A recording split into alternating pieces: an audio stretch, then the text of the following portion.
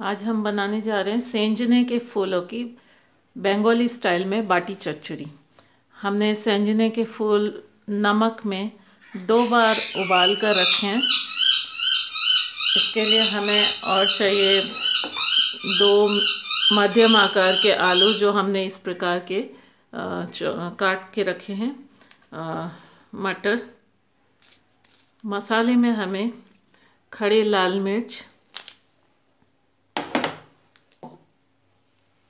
हमने मस्टर्ड का पेस्ट बनाया है। एक बड़ा चम्मच मस्टर्ड एंड उसमें हमने तीन हरी मिर्च और एक अदरक का टुकड़ा पेस्ट बना के रखा है। हमारा तेल गरम हो रहा है।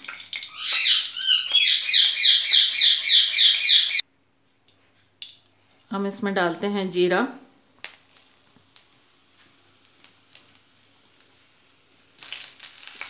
खड़ी लाल मिर्च।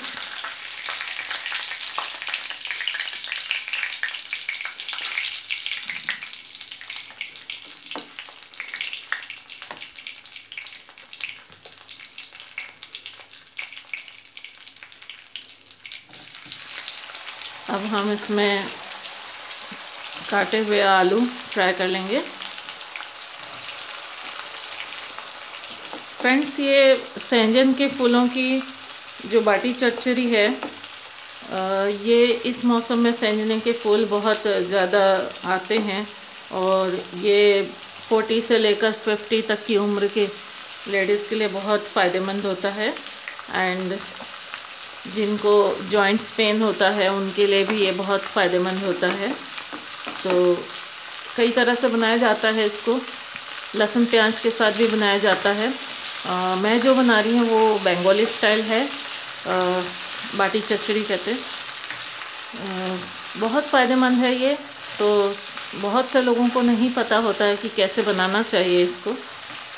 सेंजन में बिटरनेस होता है सो उस बिटरनेस को दूर करने के लिए पहले सेंजन के फूल को टहनियों से एक एक कर, अलग करके अच्छे से धोकर, यदि आप रात भर नमक के पानी में भिगो देते हैं, और फिर उसे सुबह नमक के पानी में दो बार उबाल लेते हैं तो ये हमारा सेंजने का फूल इस तरह का हो जाता है। दो मध्यम आकार के आलू यदि आप काट लेते हैं तो उसको उस तरह से फ्राई करें। जब तक ये गोल्डन नहीं हो जाता। फ्लेम आप फुल कर दें।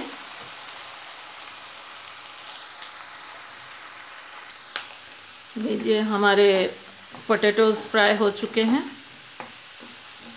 दो मिनट लगता है उनको फ्राई होने में। इस तरह से पोटैटोज़ को फ्राई करने के बाद हम मटर मिला देते हैं।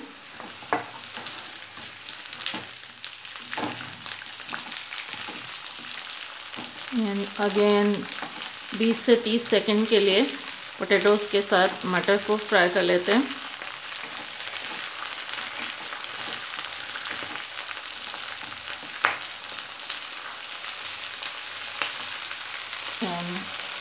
नाव हम इसमें मिला देते हैं अपने बॉयल किए हुए सेंजने के फूल को।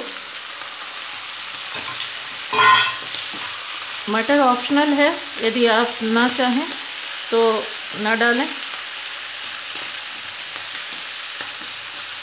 फ्रेंड्स सीजनल जो वेजिटेबल्स है वो हेल्थ के लिए बहुत अच्छे होते हैं।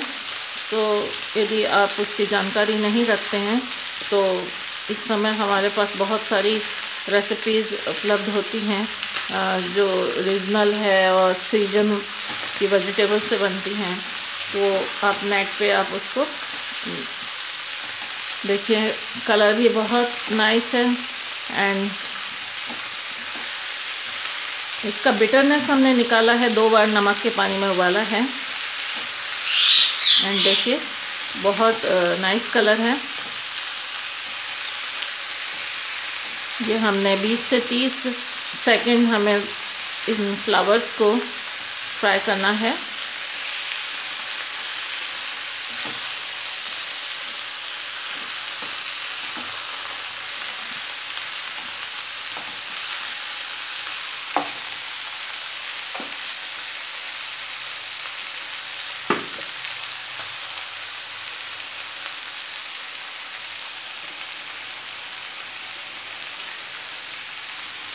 हम इसमें मिला देंगे अपना mustard ginger and green chilli का पेस्ट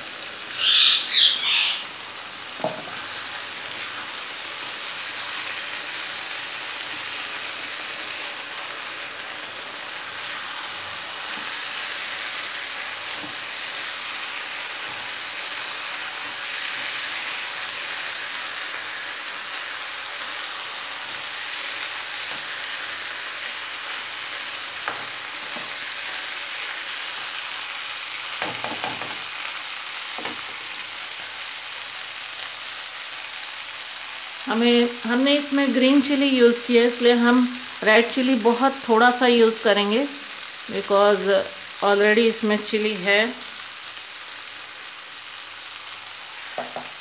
मैंने यहाँ एक चम्मच यूज़ किया है।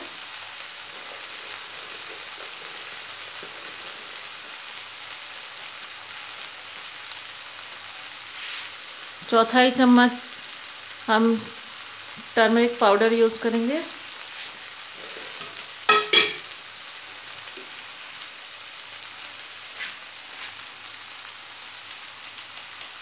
सॉल्ट अकॉर्डिंग टू टेस्ट नमक शमक हो जाए।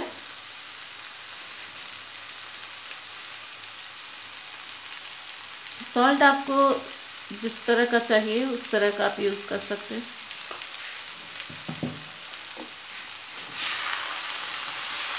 जो फ्लेम है, उसको हम लो कर देंगे। इसको थोड़ी देर के लिए भून लेंगे।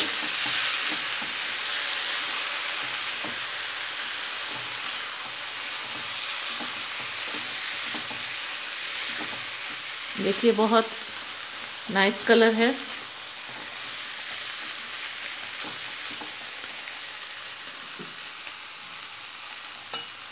हम यहाँ हाफ़ कप वाटर यूज़ करेंगे बिकॉज़ आलू को पकना है अभी इसमें। सो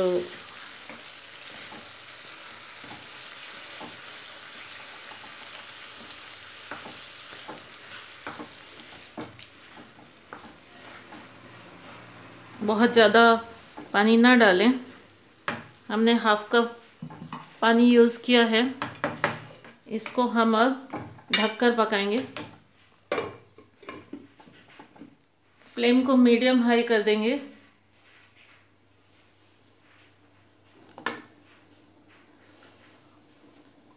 इसके साथ ही मैं सेंजने की एक और डिश बनाने जाऊँगी जो नेक्स्ट वीडियो पे आप देखेंगे। सेंजने के फूलों की दाल के पकोड़े, जो बहुत क्रिस्पी और यमी बनते हैं। सो वो मैं बनाऊँगी। मैंने दाल भीगने के लिए रखा हुआ है। सो जब तक वेजिटेबल बनता है तब तक मैं उसकी प्रिपरेशन कर लेती हूँ। सो so, देखिए तीन से चार मिनट के अंदर ये वेजिटेबल पक के रेडी हो जाता है। देखिए दो तीन मिनट तक बॉयल होने के बाद हम इसको इस तरह से फ्राई कर लेते हैं। हमारा जो चरचरी है वो कढ़ाई छोड़ देता है तो आप समझ लीजिए कि भून लिया हमने इसको। थोड़े से हरा धनिया चॉप करके रखा है मैंने, जो मैं इसमें मिला दूँगी।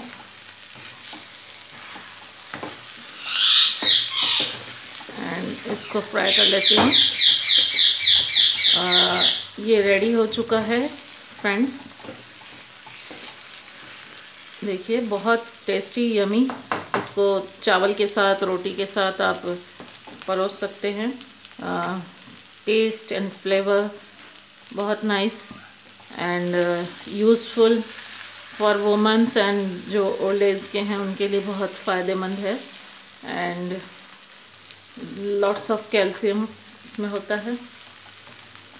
रेडी हो चुका है। हम अब इसको गार्निश करते हैं।